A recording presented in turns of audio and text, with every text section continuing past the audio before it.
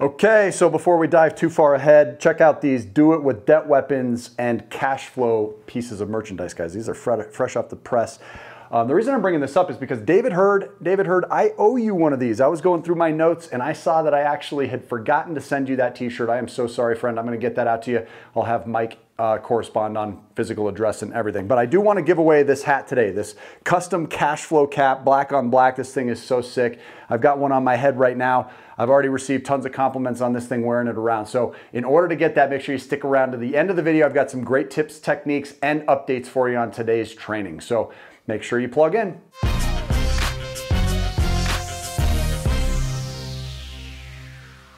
All right, guys, so the main reason to get credit card limit increases every three to six months is to lower your utilization ratio. Now, the utilization ratio, if you're new to this, is a percentage of credit used relative to the amount of revolving credit that's available to you. And it's a ratio that actually affects 30% of your overall credit score. Now, that may not sound like a lot, but guess what? Paying your bills on time is actually worth only 35% of your scores. So keeping a low utilization ratio is critical to maintaining perfect credit. Now I'm gonna teach you today how to do this properly throughout this video. And we do talk a lot on this channel about every factor of credit. So make sure that you are a subscriber and don't forget that your personal behaviors are either gonna make you a very wealthy person beyond your wildest imagination, or it's gonna be a cause of a lot of struggle along the way. So make sure that you build a plan that works really, really well for you and reserve your one free coaching session with our certified experts, credit experts and all, by pausing this video right now and reserving your no sales, no pressure session. You can do so here at freecoachingcalendar.com and then come back to the rest of this helpful video. And I tell you what, if you schedule a free coaching session right now and you share the video with a loved one, I'm gonna be sure to personally do that session with you myself. So get on the calendar right away. Now, back to this awesome technique, guys. To help you fully understand why increasing your credit limits is so effective, I'm gonna have to actually clearly help you understand utilization ratios first. So let's just say hypothetically that you have one credit card in your name and it's a $5,000 credit limit. And let's just assume that you use $2,500 of that credit card each month. You use half of it for your ongoing monthly living expenses and you then pay it off in full before the day that the payment is due. That's common for most people, and it's really what you should be targeting here. But even though your balance is back to zero every single month, the dollar amount that you used at the time that your statement closed will actually be the balance that's reported to the bureaus. And in this example, that would be the 50% amount. So using 50% or more of your available revolving credit can actually hurt your scores badly and it, it can constantly hold you back, even if you're paying your credit cards in full every month. It gets even worse if you're revolving balances from one month to the next. But by increasing the limit on this account, you can reduce the negative impact. And here's the thing, guys, the more you grow as an investor and as a business owner, the more you can and you will want to use your credit for larger and larger purchases, which is going to stack the rewards very quickly for you. Looking at my own personal credit card account here, folks, we can dive directly into the transaction history of this account and take a look at just this year alone, this one credit card has had $194,616 worth of spending and rewards back to me. Why would I spend almost $200,000 on this one credit card and not receive something back? We have made thousands and thousands of dollars in rewards from our bank by doing it this way. And here's another key factor for you to consider. Anybody who's been around a long time knows that things almost always take a lot longer than you expect they will. They cost a lot more than you think they're going to. Take this property, for example, guys. This budget has me run up from $30,000 originally to nearly $50,000 right now, and we're still a month behind. This stuff happens. If you're not prepared, you are in trouble. So it's really important to always be adding. And we all started from nothing. So you can do it too, even if you are starting from zero. Now let's say that your credit limit is raised from that $5,000 starting point to say $7,500. When you spend $2,500 the next month in order to collect rewards for your monthly expenses, you're now gonna only be penalized for using one third of your available limit instead of half. And the credit scoring formula is designed to reward you every time your utilization ratios are lower and penalize you every time your utilization ratios go higher. Now let's assume that you increase your limit again three to six months down the road to $10,000. When you spent the same $2,500 in the monthly expenses, your utilization ratio is now just 25% from one third in what was originally one half. And you just repeat this process over and over, it will force your credit scores much, much higher than they are now. And if you still doubted how important this is, let's go to my personal credit. Now, according to my profile here on Credit Karma, if I were to just open up my TransUnion credit score, it shows I have an 811. That's down 10 points. That's as of August 5th. Next update will be in two days. And you can see that here at the bottom, I've got a 0% utilization ratio, no credit cards being used. I've got three hard inquiries, four years, two months, obviously working against me in terms of the average. And if I were to just click on this utilization ratio, you'll see that I have a $92,000 total limit with just $320 being reported. That's the 0%. But if you bounce over to the, let's say, Discover Card account, whereby I have my FICO score being reported, it shows that I have just a 749 with a 781 previous score, a 32 point reduction.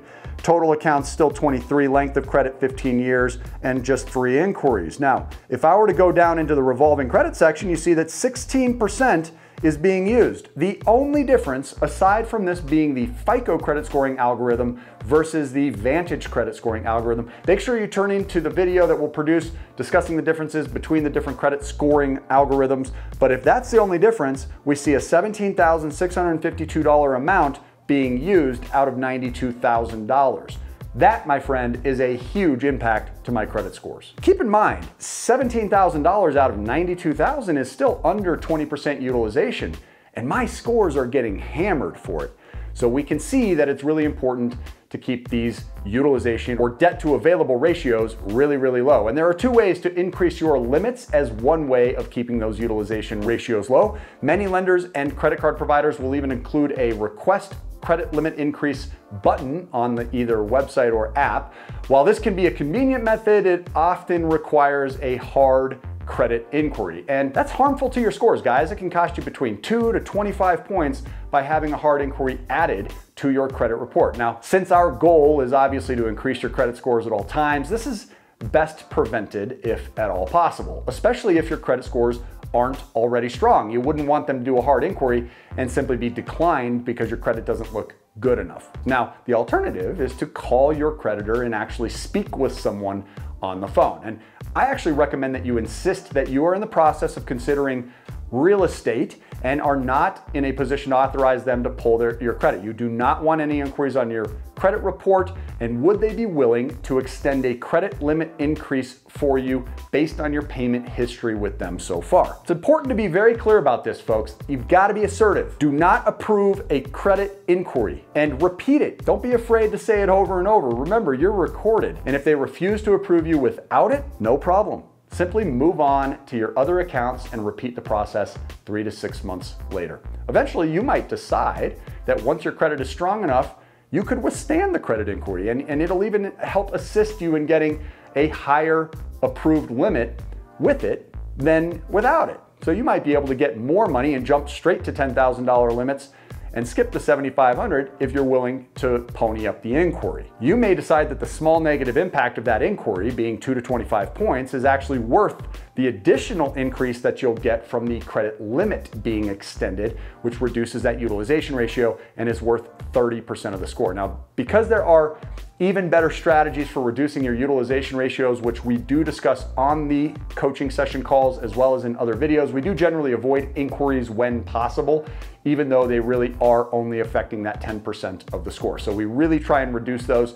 I met between three or four inquiries depending on which bureau you're looking at right now. Now, I hope this video has been helpful for you. Be sure you reserve your free coaching session with me personally. Don't forget that if you've seen this video, I will give you my time personally. Yes, it is a long wait. If you don't like to wait, if you don't have the patience in order to start creating wealth, I don't blame you. If you're ready to make it happen right now, claim a quick start membership. Let's make your dream future a reality for you and your family, folks. It's all about lifestyle here on this channel. And we're here to help you build a spending plan and a roadmap to wealth. I can't do the work for you. You'll have to stay consistent. But if you are, You cannot fail by just simply getting up every single day and putting in the work. Now, we're here to help you use credit wisely. I do want to emphasize that never to access money recklessly or to, to use it for unnecessary spending. And when we increase these limits here, guys, it's only to increase your credit scores and your borrowing power. And doing so will help you get the best rates possible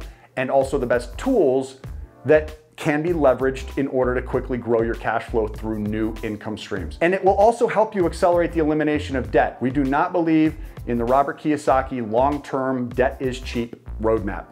That is far too risky for our audience. If you like the idea of being completely debt free, but still relying on these types of tools to get you where you want to end up, you're not going to want to miss out on that coaching session. Freecoachingcalendar.com. All right, now I promised you guys that I was going to be telling you how you could get access to this amazing cash flow black on black hat, guys. I want you to go over to the Instagram page. We are so close to hitting 100,000 followers on our Instagram at VIP Financial Ed. And I want you to start submitting your questions there, guys. Just go ahead and DM me your questions directly and I'll bring it onto the channel and I'll split screen you.